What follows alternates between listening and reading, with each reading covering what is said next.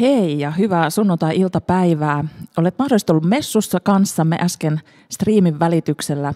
Mahtavaa, jos olet ollut mukana siinä jo, mutta jos jostain syystä et päässyt siihen osallistumaan, niin ei hätää, se kyllä löytyy meidän verkkosivuilta vielä, vielä tässä melkein kahden viikon ajan. Voit sieltä käydä sen katsomassa. Nyt on Vivamon kirkkokahvien vuoro, eli tämmöinen pieni keskustelutuokio Vivamon kirkosta ja tässä on mukana minun lisäksi, niin minä olen Marika Viljamaa, Susanna Luttinen Kivistö nuorisotyöstä. Minä toimin täällä Vivamossa ohjelmavastaavana ja pappina ja nyt päin pääsimme yhdessä toimittamaan messua, mikä oli oikein antoisaa. Tervetuloa tähän keskusteluhetkeen myös Suskille. Kiitti. Tuossa Marian päivän teemaan pidit saarnaa ja toit esille sen, kuinka Maria oli siunattu ja kuinka hän myös osasi ylistää Jumalaa tästä yllättävästä osasta, mikä hänelle oli tullut. Millaisia ajatuksia kävit läpi, kun Marian kiitoslaulua siinä luit? No aika monenlaisia. Jäin miettimään, vaikka se ei Saarassa niin näkynyt, niin jäin miettimään sitä siunattuna olemisen teemaa. Mitä on olla siunattu? Ja tuossa saarnassa kerroitkin yhden omakohtaisen kokemuksen siitä, että elämä oli todella täysi, oli monenlaista asiaa, ehkä vähän niin kuin huolehdittavaakin nuorena opiskelijana. Mutta sitten tulikin eriko, erilainen näkökulma toiselta ihmiseltä, joka kysyi sulta, että mitä sulle kuuluu. Ja yhtäkkiä ne huolet ei ollutkaan pelkästään murheita, vaan ne oli Jumalan siunauksia sun elämässä. Joo. Mä oon jotenkin miettinyt tai saanut itteni kiinni välillä semmoisesta ajatuksesta, että, että ehkä odottaa, että siunaus olisi vähän niin kuin semmoinen all-inclusive paketti, että, että, että kun puhutaan, että tulee siunaus tai saa siunauksen, että, että sitten voi lököillä altaan äärellä ja ruoka ja juoma tuodaan siihen ja mitään ei tarvitse tehdä, mutta, mutta huomaan, että se mun jotenkin alkuoletukseni on aika väärä. Usein ne asiat, mitkä on meille siunauksia, niin niihin kyllä saattaa liittyä myös niin kuin jotain työtä tai jotain raskasta tai muuta, että se ei ole vaan semmoinen all inclusive. Joo, ja mulla tulee mieleen, tota, yhdellä oli pianosäästyskurssi alkamassa ja meidän tota, evankelistosta, tämmöinen musiikkievankelista kuin Kristiina Tanhualaiho, niin toi esiin semmoisen, kun hän oli ollut jossain tapahtumassa ja, ja oli käytetty eri värisiä papereita siinä työskentelyssä havainnollistamaan tietyllä tavalla sitä, että, että jos on vain vaaleankeltainen paperi, joka on valkoisen vieressä tai näin, niin se ei, ei ollenkaan niin erottuva kuin jos siinä on se tummansininen tai tumman harmaa tai jopa musta vieressä.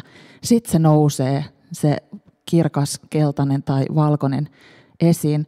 Vähän niin kuin meidän elämässä, että jos, jos on kaikki koko ajan todella hyvin, niin välttämättä silloin ei ehkä sitä siunausta edes hoksaa, koska ei ole sitä tummaa varjoa, mikä on myös kuuluu siihen elämään ja sen siunauksen tavallaan sen näkemiseen.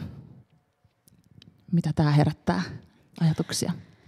Joo, ajattelen ihan samalla tavalla ja sitten myös jotenkin ajattelen sitä, että, että siunaus on aina myös jotenkin niin kuin, musta se aina liittyy myös siihen suhteeseen Jumalaan, että havahtuu siihen, että keltä mä oon sen hyvän saanut. Ja, ja se ei välttämättä aina tapahdu, jos kaikki vaan elämässä on hyvää eikä tarvi yhtään pysähtyä pohtimaan, niin ei välttämättä ymmärrä katsoa ylöspäin niin jotenkin haastavaa kuin se onkin ottaa niitä tummia värejä vastaan myös. Joo.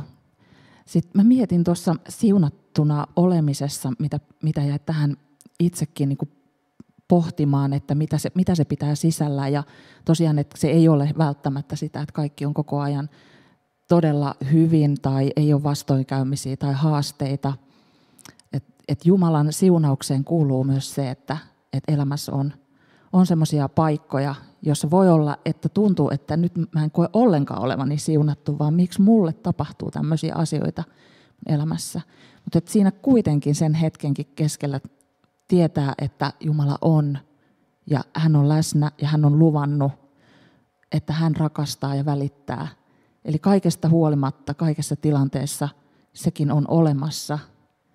Vaikka se tunteet saattaisi ihmisenä olla sellaiset, että nyt mä en kyllä enää jaksa yhtään ylimääräisiä niin kuin vaivoja tai, tai hankaluuksia. Että, että me ihmisenä ei, ei se ole helppo niin kuin nähdä siinä se, että Jumala on kuitenkin koko ajan läsnä kaikessa niissä tummissakin kohdissa. Ja sitten mun mielestä toi Marian ylistys toi hyvin sen esiin, että meidän täytyy joka tilanteessa muistaa, että kuka on meidän elämän perusta. Että se kiitos nousee siitä, että kaikki on hänen sallimaa ja hän on olemassa ja hän on vierellä kaikissa tilanteissa. Niin kuin toit esiin sen Dietrich Bonhoefferin virren, että voiko mustempaa ja, ja pahempaa niin kuin elämäntilannetta olla, missä hän oli, niin silti hän vielä tuo sen kiitoksen, että hyvyys on tässä kaiken takana kuitenkin. Että se, se valo on suurempi kuin tämä pimeys, missä mä nyt olen, tai mitä tämä Saksan tilanne silloin oli. Joo, ja, ja jotenkin se on jännä, kuinka kaksi todellisuutta voi elää samaan aikaan. Että et, et tavallaan meidän todellisuus voi olla hyvinkin synkkä, ja sitten taas niin kuin Jumalan todellisuudessa niin loppu tulee olemaan hyvin. Kaikki ei välttämättä vielä ole hyvin, mutta lopussa kaikki tulee olemaan hyvin. Ja mä jotenkin fanitan kelttiläisiä siunauksia. Mulla on pari kirjaa kotona sen takia, että niistä löytyy siunaus ihan joka tilanteeseen. Siellä löytyy tietokoneen siunaus, mitä aina välillä meidän työssä tarvitaan, kun Teams tökkii tai muuta. Ja tosi monia eri siunauksia. Niissä on ehkä, kun mä oon miettinyt, että miten ne siunaukset on kirjoitettu, niin niissä on eri asioille, ihmisille, tilanteille, niin tavallaan jotenkin ää, toivotaan, että se tilanne olisi jotenkin tarkoituksenmukainen tai täyttäisi jotenkin sen tarkoituksen, mikä sillä on. Ja sen lisäksi toivotaan sitä, että Jumala olisi siinä läsnä, jos ne jotenkin tiivistää. Ja niissä on mielestäni jotenkin tosi arkisia ja hyviä ja syviä ajatuksia. Niin kuin, että miten yhdistää tämä ylistyksen todellisuus ja sitten välillä se tummempi todellisuus. Joo. Mulla tulee myös yksi näkökulma taas mieleen, niin kuin ihmisen näkökulma siinä, että, että kun ajattelee, että tämäkin tilanne, missä nyt ollaan, on tosi hankala. Ja meillä on kuitenkin Jumala, joka on kaikkivaltias. Eli meillä on lupa myös itkeä ja valittaa Jumalalle sitä, että mä, mä en halua enää tätä ja mä en jaksa olla neljän seinän sisällä, mä haluaisin nähdä ihmisiä. Jumala kestää sen kaiken. Et sen kiitoksen lisäksi meillä on, meillä on niin hyvä suora yhteys, me saadaan kyllä ihan sanoa, että hei nyt mä sun lapsena, mä haluan vähän kyllä valittaa tästä tilanteesta. Ja se tekee hyvää myös, koska ihmisellä on kaikki tunteet ja ne kaikki tunteet on sallittuja. Ja ne on hyvä, että niitä purkaa. Ja myös saa sanoa sille taivalliselle isälle, että nyt tämä on niin ihan typerä juttu ja mua ärsyttää. Ja tunnistan, kun omat lapset on nyt teini-ikäisiä, kaikki kolme, niin kyllä he on todella väsyneitä tähän tilanteeseen. Että he, kun ei he näe kavereita muuta kuin ruudun välityksellä, vähän niin kuin me kaikki oikeastaan tällä hetkellä tuntuu, että ei me nähdä ihmisiä muuten kuin ruudun välityksellä. Sitten heillä on nyt läsnä, niin kuin tota, mikä tämä on, heillä on nyt etäkoulu, niin he ei sitten näe niitä koulukavereitakaan. Kaikki harrastukset on tavallaan tauolla. Et kyllä, kyllä sen huomaa, että, että tämä koettelee. Et toivottavasti aikaa enää tänne, että nähdään sen kulman taakse olevaan valoon tässäkin hetkessä, niin ettei siihen kulu enää kauaa. Joo, ajattelen, no mä oon nyt saarnan takia pyörinyt tämän ylistyksen äärellä. Se voi kuulostaa siltä, että mun elämä on yhtä ylistystä, mutta kyllä mä ehkä jaan nyt tällä hetkellä enemmän näitä tunnelmia, mitä sä toit tässä esille. Että et, et lapset on kypsänä, mutta kyllä tässä on itsekin kypsänä niin kuin vallitsevaan tilanteeseen ja on vähän silleen, että eikö nyt voisi vähän nopeammin nopeuttaa tätä prosessia, että päästäisiin niin tavalliseen arkeen. Ja, ja sitten on jännä kuitenkin kuulla omilta kollegoilta esimerkiksi jotain, että, että kaiken keskellä kuitenkin sit se siunaus voi olla joku hyvä kohtaaminen tai, tai, tai että jotain on tapahtunut sellaista kaikesta huolimatta. Ei, niin kuin, että, ei silleen, että olosuhteet olisi hyvin, vaan kaikesta huolimatta. Tai mä itse ajattelen, että mä koen itseni siunatuksi niin kuin siinä, että mä sain tänään tulla tänne Vivamon kirkkoon ja olla messussa ihan livenä mukana, vaikka mä kaipaan ihan jokaista niin kuin seurakuntalaista täällä, että tämä ei ole sama, mutta, mutta mä huomasin, että se on mulle itselleni niin kuin tärkeä juttu tämän ruudun tuijottamisen keskellä, että koen, että se on yksi pieni siunaus tämän kaiken valittamisen keskelle.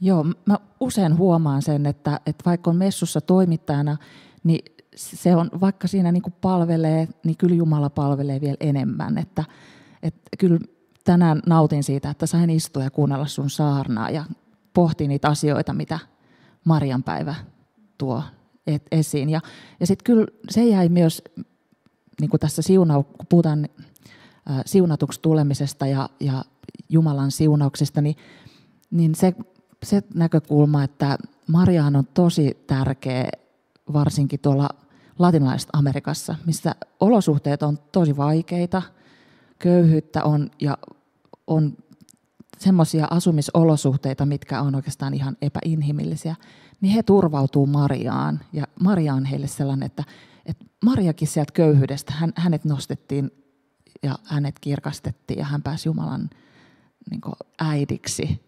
Niin mä uskon, että se kannattelee aika monia siellä arjessa. Että Jumala välittää meistä kaikista vähäisimmistä, kaikista köyhimmistä. Että Jumala on läsnä täällä ja mä, mä jotenkin ehkä ajattelen myös, että Jumala on ehkä vielä voimakkaammin niin kuin semmoisella kokemuksellisella tasolla läsnä just silloin. Toisaalta on ne, just se pimeä aika tekee semmoisen, että, että joutuu kyselemään, että onko se Jumala vielä tässä vieressä, että näetkö mitä mulle nyt tapahtuu tai mitä mun elämässä on, että, että kuuleeko mua. Mutta sitten samalla siinä se ihmisen niin kuin, hänen niin kuin jotenkin kaipuu ja sellainen – ku, niin kuin kurottautuminen Jumalaa kohti on jotenkin siinä tilanteessa niin kuin oikein niin kuin vahva. Vähän niin kuin ensimmäinen tavallaan rukous, mitä varmaan raamatussa on, niin on just se, että auta Jumala, näe mut, kannata mua. Sen ylistyksen lisäksi. Mutta on monta, monta tapaa lähestyä Jumalaa. Ja kyllä mä näen, että, että se avun pyyntökin, sekin on kiitos. Se on kiitos siitä, että mä yritän kurottautua sua kohden, Jumala, että näe, näe mun tilanne ja mä uskon suhun ja sun lupauksiin. Eli mä samalla myös kiitän siitä, että sä olet mun turvana. Joo, ja Raamattu on täynnä niitä just pieniä ihmisiä, jotka ei ole ollut niitä vaikutusvaltaisia ja hienoja, jotka on vaan valittanut, että en mä osaa tätä, ei tämä ole mun homma ja mä en osaa puhua ja mä en osaa sitä ja mä en osaa tätä. Ja sitten Jumala on vastannut, että hei, sä oot just hyvä, mä otan sut. että voitko, voitko lähteä tekemään tätä hommaa tai oikeastaan lähde tekemään tätä hommaa. Että, että se on kauhean armollista ja toisaalta niin kuin, niin, sitten myös miettiä, että välittyykö se jotenkin siunaus myös sieltä sukupolvien takaa, tai, tai sitten niin kuin paikkoihin, kun ihmiset sanoo, että jossain paikassa on helppo olla, että tuntuu, että Jumala on siellä lähellä, kun on rukoiltu ja kun tavallaan ihmiset on siinä paikassa olleet lähellä Jumalaa. Joo, tästä Vivamosta usein ihmiset kertoo, että täällä, että jos on ollut vaikka elämässä jonkinlainen semmoinen tietyllä tavalla ehkä tukos suhteessa Jumalaan tai jotenkin semmoinen erämaavaihe, niin sitten kun on tullut tänne, niin jostain syystä alkaakin aukeamaan niitä linjoja. Et, et siinä on varmasti merkitystä, että, että täällä on rukoiltu ja se kantaa se rukous edelleen. Ja täällä edelleen rukoillaan ja on ihmisiä, jotka toivoo tälle paikalle hyvää ja rukoilee sitä, että Jumala pääsee koskettaa täällä ihmistä. Tai missä vaan, mutta, mutta tämä on monelle tosi rakas paikka.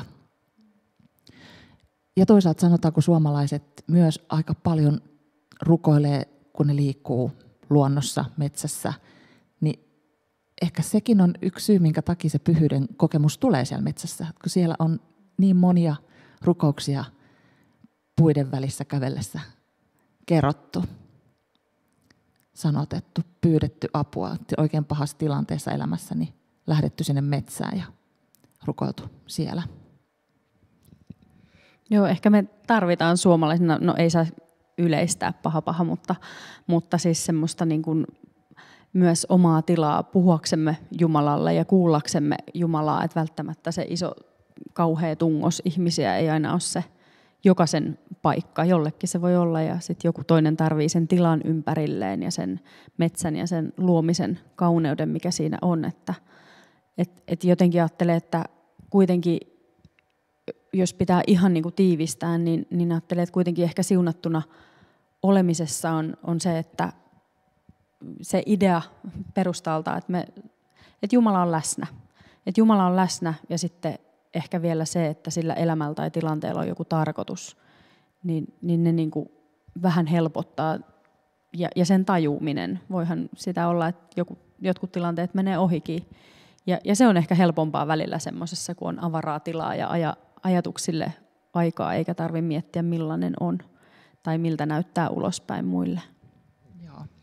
Sä toit esiin tässä just tämän niin kuin sukupolvien ketjun ja tässä tietyllä tavalla miettiä, että, että siunaus voi monesti tulla esirukousten kautta. Että vaikka itsellä on sellainen tilanne, että on, on vaikea löytää just se väylä Jumalaan ja, ja se, se, tavallaan se keskustelu, siinä on jotain, jotain ehkä tukoksi, niin sitten joku toinen rukoilee sun puolesta ja sitä kautta se siunaus tulee ja se väylä aukeaa.